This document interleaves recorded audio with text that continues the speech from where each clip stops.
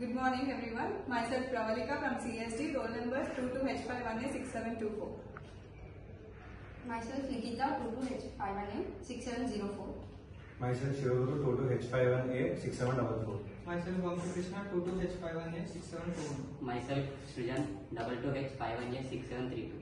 So our project title is RoboSwipe. As we all have our uh, uh, white whiteboards in our classrooms, so our faculty is facing trouble while uh, erasing the boards or uh, sometimes faculty may not be having the dusters with them uh, when they come to the classes. So we have come up with a solution like our board is rotating when we, when we have uh, dusters backside. So our, our dusters have contact with the board and board will be getting rotated through an Arduino pro, code and uh, uh, and motor drive. So we have uh, given the connections to the Arduino and the motor drive using potentiometer controlling its speed. So our, our board will be uh, controlled through a switch. So if we turn on the switch, the board gets rotated and uh, it gets contact with the duster. So the board gets rotated backwards and the, uh, it gets erased. The existing solutions for this problem are electronic whiteboards and where the board is constant and the duster will be moving from up and down with the help of a stick when using the motors. But our proposed solution is here the board will be rolling with an integrated rolling system and the duster will be constant at the back. By we use a motor and an Arduino to rotate the board and there will be a code written in that Arduino to operate this using a switch.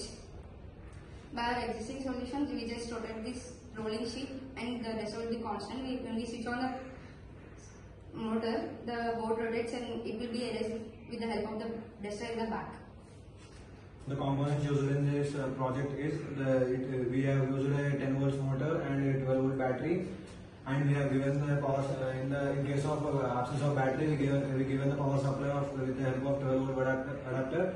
And we use Arduino and uh, a potentiometer is also used. And we use uh, motor driver which controls the voltage from the uh, Arduino which uh, uh, Arduino supplies only 5 volts. So it uh, helps to uh, generate more power with low voltage. So uh, it is the point uh, uh, we have used uh, we have used jumper wires and a switch which controls the rotation of the board.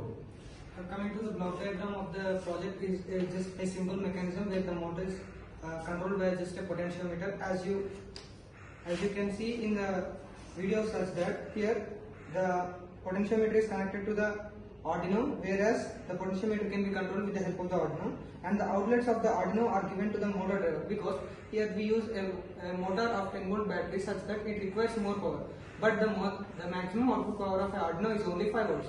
So in that case we used a motor driver as an external battery source. So here for the motor driver for the positive we can give two, uh, this can be uh, given input power in the two ways either through the adapter or a 12 volt battery. If you give in case of a adapter the positive can be connected to the one, one, end, of the adapter as you can see here and the negative is connected to another end of the adapter whereas uh, the the negative is directly connected to the ground of the Arduino and the outlets of the motor wire are directly connected to the motor. So coming to the working mechanism, whenever we switch on the motor, it would uh, the Arduino and the relay would uh, and Arduino and the motor driver would switch on and later on when we give the power supply by using the adapter, uh, the power starts the power uh, the power starts utilizing by the motor so that the motor just rotates and therefore it gets erased. This uh, the coming to the advantage of this board are only used in erasing the board, but in case of the uh, adjust, this can be used in case of adjustment also. For example, if faculty have uh, have a height problem while writing a board, or have any shoulder pain while writing a board. In case of the faculty, uh, every time we need to use write like this, but in case he would get a pain every time. So if we use this board, then we can start writing from the middle of the board, and whenever we want to just uh, uh, don't want to erase but everyone need to copy the notes then then uh, here potentiometer is just like it acts as a regulator such that you can adjust the speed so if something is written here uh, it can be rolled like this and it can come up here. So that the faculty can uh, continue the writing itself whereas the board not gets erased.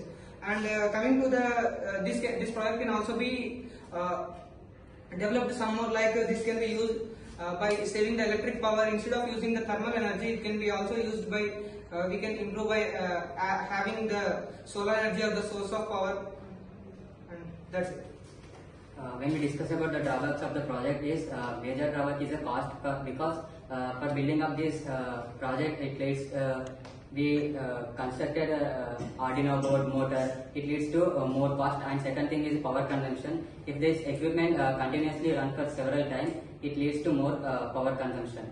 At last, we are concluding that we have developed a project called RoboSwipe. Here, the board moves up and down using a switch, and uh, duster is placed at the back side of the board, which is used to clean the written part in the board.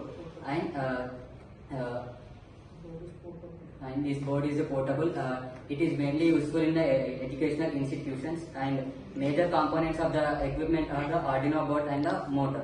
Thank you.